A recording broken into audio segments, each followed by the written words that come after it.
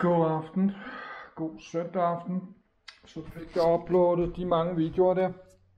Jeg har været lige eller netto frem og tilbage fem gange. Mit gamle beskidte glas er væltet her. Det har jeg drukket af i mange år. Jeg fik lige lavet en ekstra video. Men jeg har været fem gange op og ned, så jeg mødte beboere nede ved kælderen, der har oplyst mig om, der har været beboermøde. Ikke så lang tid siden, det så jeg godt, det var. Der var været beboermøde, og den der renovering, den der renovering, min øh, boligafdeling er blevet udskudt til næste år. 2025.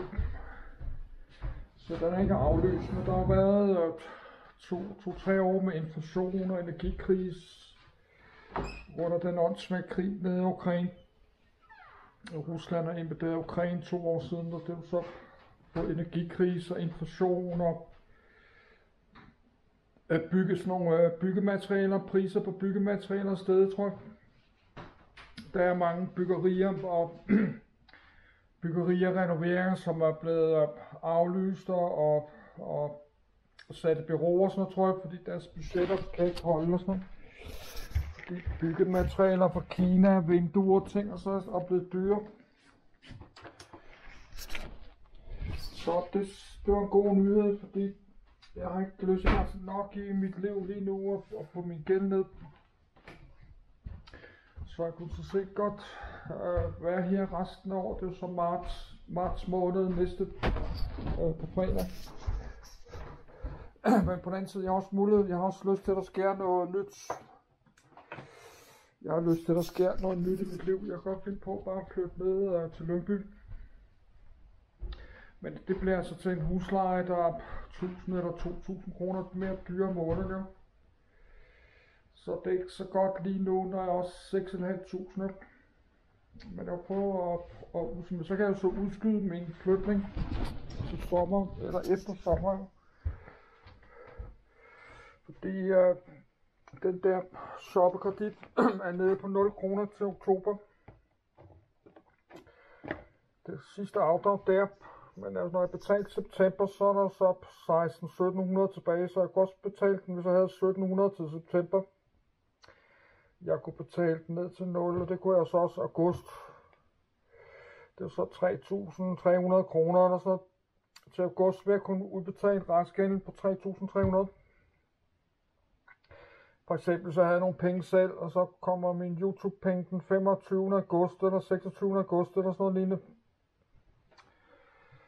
sådan at jeg har de der 2.000 hver måned allerede fra september. Det kunne vi også gøre sådan noget. Så jeg kan godt finde på noget helt andet. Det er at flytte til uh. Jeg står til sådan noget øh, super billig etrums lejlighed til nærmest under 2.000 om måneden. Men den er kun 28 kvadratmeter. Og der er også plads til mit tøj der. Så man skal være med nogle øh, flere ting. Det er så bliver hele værelset så proppet med kasser og sådan noget.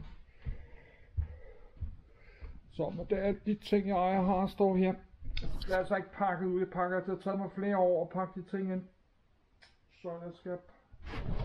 Jeg er lige blevet ved at blive færdig med mit tøj. Så hente de der seks, kan jeg hente fem kasser sådan nogle på 40 liter og tænk mig måske at putte uh, det der tøj ned i. Og så er der to sådan lidt kraftigere kasser, kunne jeg så bruge til noget andet. Kunne jeg bruge til ting. Det ved jeg, jeg kunne måske gøre det på den måde.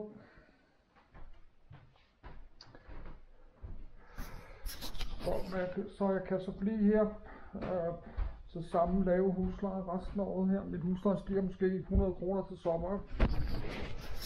Så jeg kunne være her resten af året. Indtil år 2025 en gang også. Altså et års tid nu. Men det er ikke sikkert, det er ikke sikkert, det er min, uh, min boligblok, der skal renoveres første gang. Det tager en blok i gang, men det tror jeg, det er. Fordi det har været noget irriterende, ubehagelige ting, så er det altid mig, der først. Så jeg kan også finde på at bare flytte over på den anden side af vejen et etværelses lejlighed på 42 kvadratmeter. Det er lige over, jeg kender området, jeg kender butikkerne og sådan noget.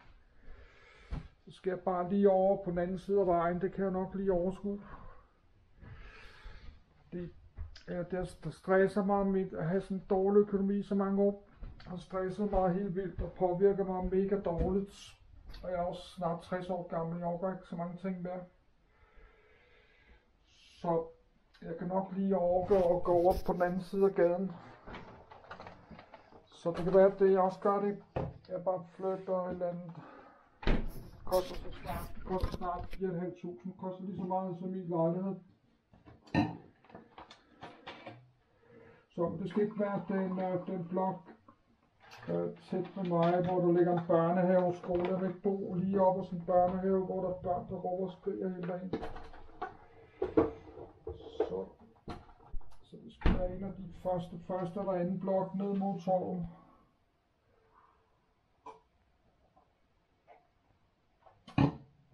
Jeg vil ikke bruge den sidste blok, der er lige oppe på den der børnehave, og så skal jeg ligge have sådan et værelse, så skal jeg sidde og høre på de der børn rest, skrige resten af mit liv.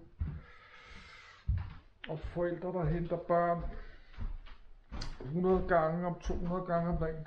Det gider jeg altså ikke at høre på resten af mit liv. Så. Men øh, jeg vil lave noget varmt mad nu.